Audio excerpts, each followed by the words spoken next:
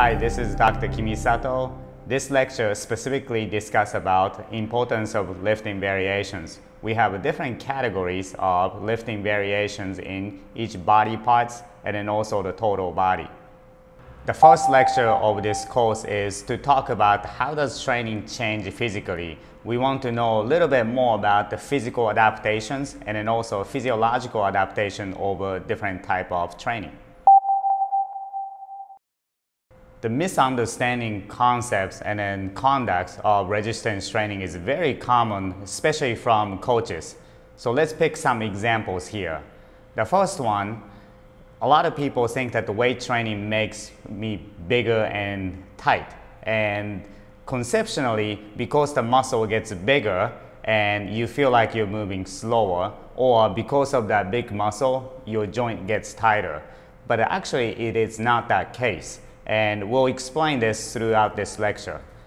The second one, weight training did not help my performance. I hear this a lot from coaches, and then simply because you didn't do the right type of training for a specific time period. So again, that you have to learn how to do the weight training in a specific way, or you can easily do the weight training wrong to actually decline your athletic performance. The third one, this is very common from endurance athletes because uh, weight training really doesn't help the endurance athletes, but it is not also the case.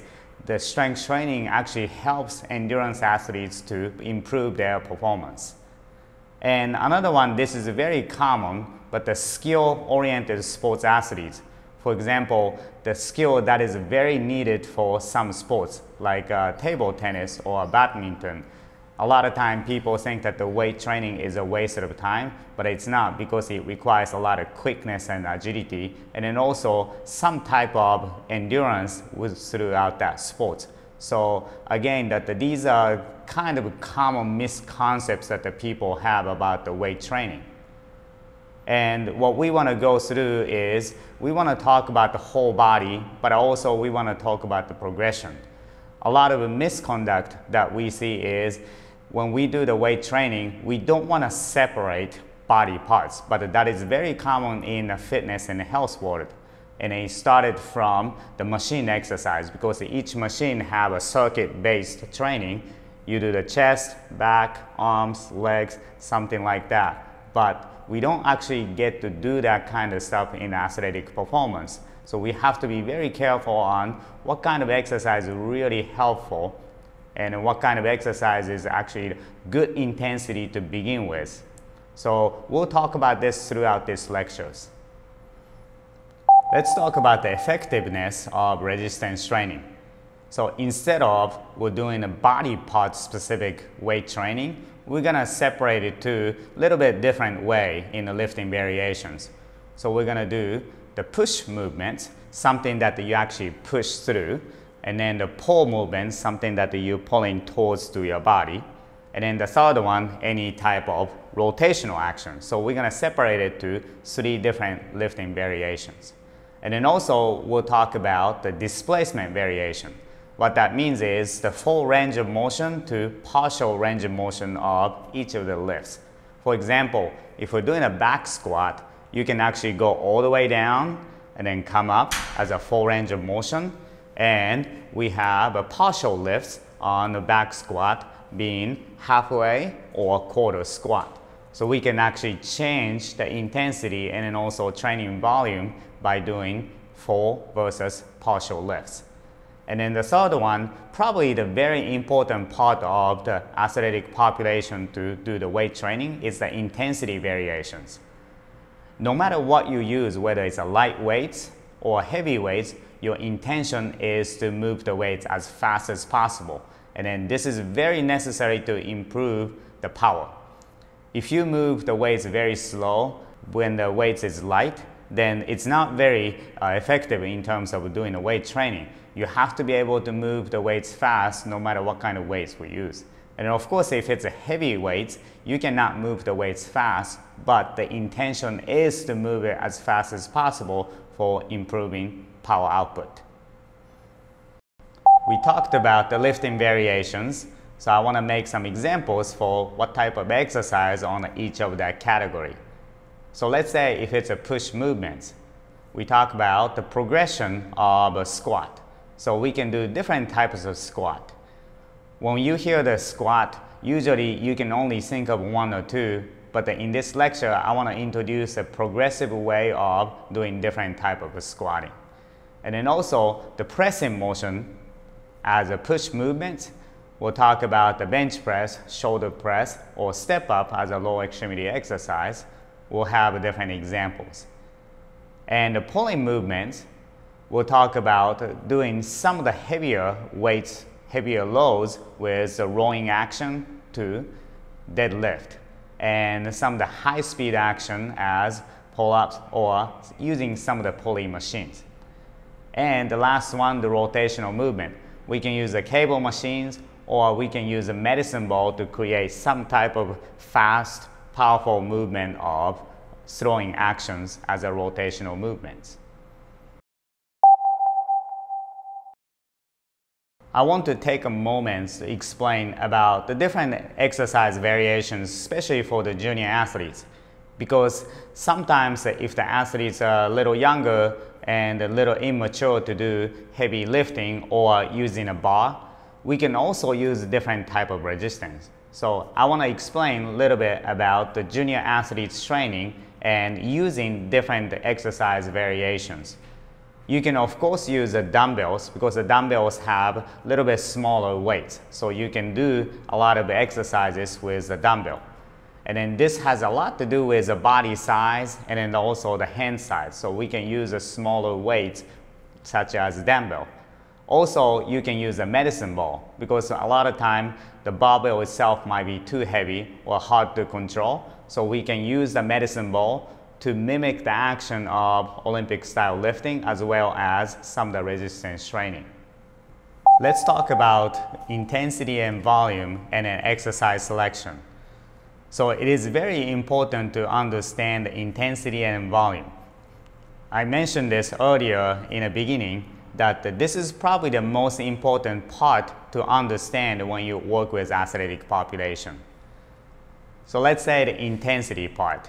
We have two different kinds of uh, attention to attack for intensity decision making. So first one is 100% RM. So you use a percentage RM, repetition maximum. So let's say you have 100% and you can choose 90%, 80% or 70% of intensity to do certain exercises with certain sets and repetitions. And then the other one is called reps in reserve or rep left count.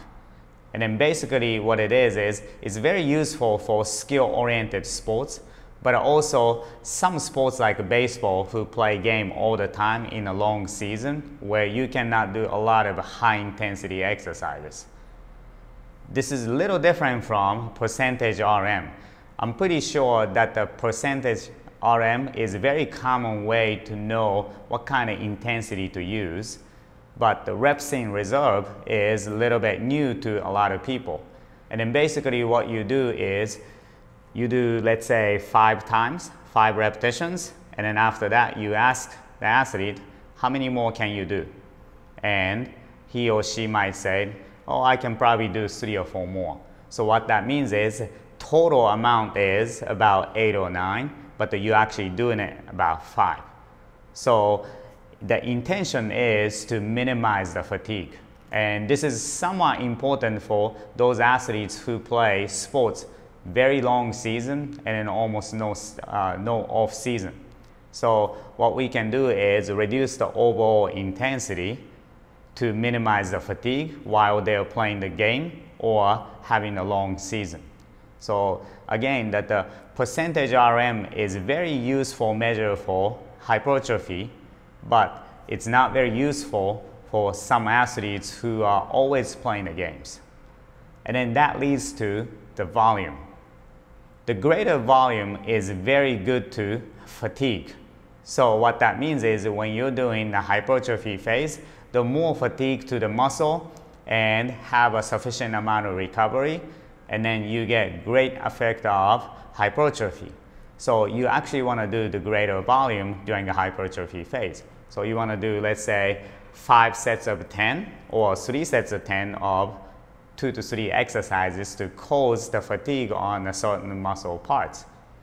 Or if you talk about the lower the volume, the purpose of doing that lowering the volume, meaning that let's say three sets of three or three sets of two of several exercises to actually reduce the uh, actual fatigue and purpose to recover.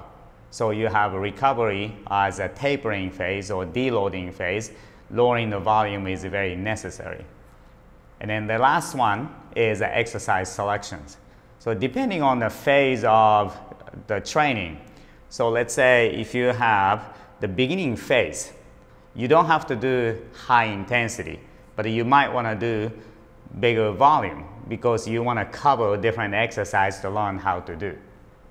And then when it comes to the athletes, some junior athletes, as I mentioned before, you might want to do different exercises but a lighter intensity and get to know how much they can do, how much weight they can do, or what kind of exercise is easy for them to do. So you can actually use that as a learning period. But when it comes to more of hypertrophy, hypertrophy phase or maximal strength or tapering, when it gets to a very specific phase, then you really have to put the weights on or you really have to do the exercise correctly.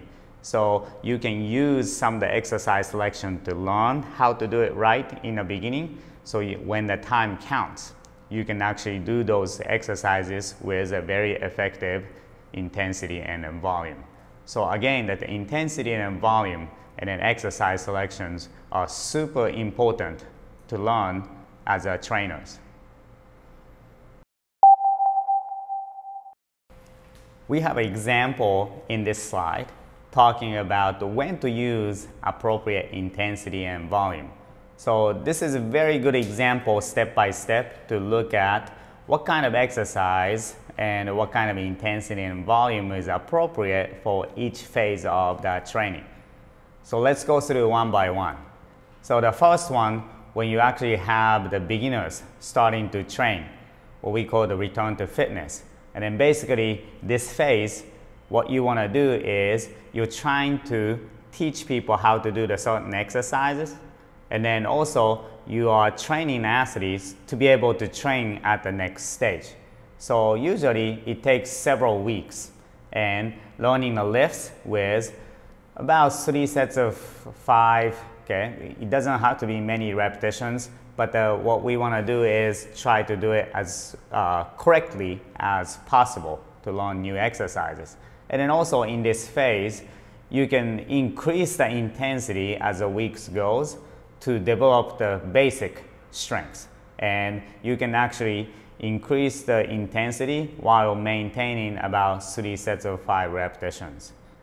The second phase, once you learn how to do those exercises, and then you can actually do a little bit more volume. So the second part is to talk about the strength endurance. So for example, sets and repetition is going to be maybe about three sets of 10 to create a little bit of muscle endurance going with a medium intensity and volume and then going into the hypertrophy. And then when you actually do the hypertrophy, the intensity might be a little bit higher, but also the volume becomes higher. So the target volume is, let's say, three to five sets of 10 repetitions with different exercises. And then once you build the hypertrophy phase, in other words, building the engine, now you have to fine tune the engine in the next phase. So you do max strength or max power to create a higher intensity, but the volume itself is a little bit lower. So you can have an intensity to, let's say 90%, and the volume wise still stay a little bit medium side. So maybe two, three sets of five repetitions. And then you go into the max power, and then now that the intensity is a little bit lower as well as volume, but the, because of the power, the emphasis, you have to be able to move that object very quickly. So some of the high intensity stuff, you cannot move quickly because the weight is too heavy. So you have to reduce down the intensity in order to move the object quick. And then the last stage is the tapering, meaning that you're trying to reduce the training volume to recruit more recovery so the body feel fresh. And this is necessary right before the competition. A lot of time the coaches want to do as many as possible in the practice sessions preparing for the games, but this actually acts as a counter um, acting of the uh, um, competition phase because you do too much, it causes fatigue. So you actually want to taper down the training volume and try to recruit that recovery so the body feel fresh and easy to prepare for the competition. Let's summarize this whole concept. If the training is designed and performed correctly, chances are you're going to be very well prepared in terms of going to the next phase. So what we want to do is have appropriate designing in terms of trying to get the exercise intensity and volume and then exercise selection right so the muscle character changes. The more acting to fast twitch fibers for a lot of strength and power athletes or more slow twitch fibers for endurance athletes. And then also depending on the exercise routine, the muscle size changes as well. So if you're trying to increase the muscle size and then reduce the body fat, then it, it is necessary to have the greater cross-sectional area to have higher metabolism. And then more than anything else, a lot of people actually don't know this, but uh, from this design, you're actually trying to stimulate the neuromuscular efficiency. For example, if you're always doing some heavy weights and then moving slow motion, your neuromuscular activation is to be become very accustomed to the movement of slow action. But if your sports requires really quick, powerful movement, it counteracts. So what you have to be careful is trying to train the body the way that the actual sports requires you to move. So it's necessary to have more motor unit recruitment and also the faster action potential for high intensity or power related exercise to be able to stimulate that neuromuscular efficiency. So again, that this section here is very important to understand the conceptual part of how training design really helps to propel athletes' performance. We discussed about how training intensity, the volume, and then exercise selection is very important in each phase of the training. So exercise selection is not very random. It's a very well thought process in order to make changes. So it is very important to understand this section before we move on to learning how to do some lifting variations.